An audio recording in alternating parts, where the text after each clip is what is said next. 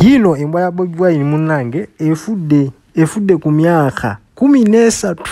Embwa ebadde ya kumi n'esatu. Eno abadde yagituuma dido. Munnange efudde yafudde olunaku lwolunaku olweggulo munnange. Eno embwa abadde agyagala nnyo n'okusinga ebintu ebisinga by'oyinza okulowoozaako.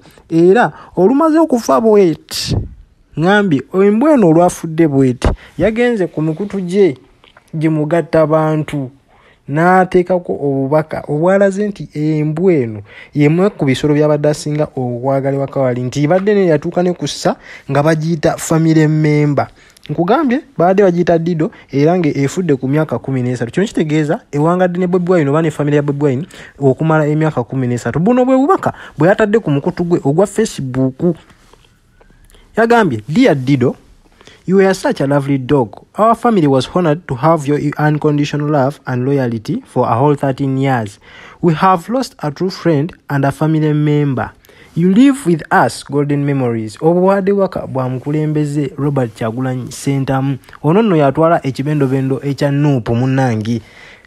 Bwe bubaka bwe eri embwa.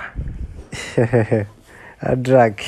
Abantu abamu bino abazungu bwe basinga okubitegeera nze sibitegeera nnyo nga nze omu naye munnange omukulembeze waffe bw'aba nga yooyo ee tugendera awo tetulina kyakukola bwe bubaka bwe bwataddeyo era abantu bangi bakomenti nze omuli n'abazungu engeri kiki nti bwe basinga okutegeera ebisolo bino ne bamugamba nti alabye n'okufiirwako ekisolo kyasinga okwagala munnange. So nga ate ne bannayuganda wanene omunnange abasinga abamu bapositinze ku mikutu gyabwe ne bagamba mulimu apositinze n'agamba nti enemba olubadde okutuuka ewaka wa bobi wine munnange nga yekwaniriza era ng'eriiso olulijja ku mbwa olikuba ku bobi wine directi ano munnange badde bajagala nnyo nnyo nnyo nnyo nti etuuse yatuukanga n'okulabikira mu vidiyo za bobi wine ezimu oba ezisinga oba oli awo. Omukwano ogwo gwe badde ebalaga bano bonna bonna nga we bali. Naye tumusaasira nnyo era tumukungubagira ku lw'embwa ye eyafudde ebyamaziika tugenda kuba tubibategeeza byonna byonna nga ebinaabeera ebyembwa eno